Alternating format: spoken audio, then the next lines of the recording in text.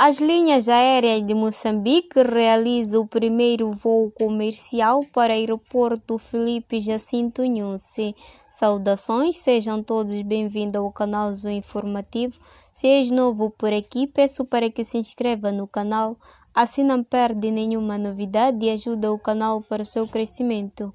A empresa Linhas Aéreas de Moçambique realizou no sábado 18 de dezembro de 2021 o primeiro voo comercial com destino ao aeroporto Felipe Jacinto Nunes a partir de Johannesburg com escala em Maputo.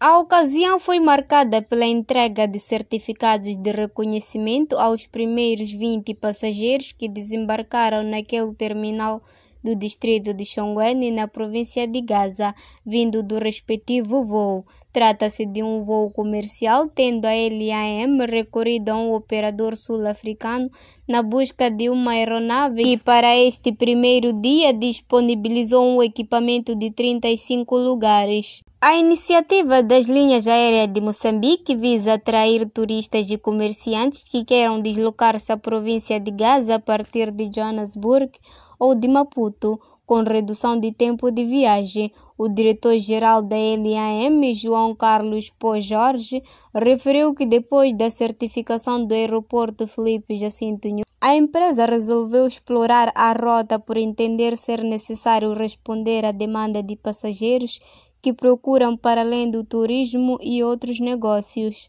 Por sua vez, a diretora comercial das linhas aéreas de Moçambique, Luísa Freire, explicou que a companhia de bandeira nacional pretende, com o lançamento da exploração da rota, abranger todos os pontos do país que terão ligação com o aeroporto Felipe Jacinto Nhusse. Se gostou desta informação e quer incentivar o canal, deixe o seu like, se inscreva no canal e ative o sino das notificações.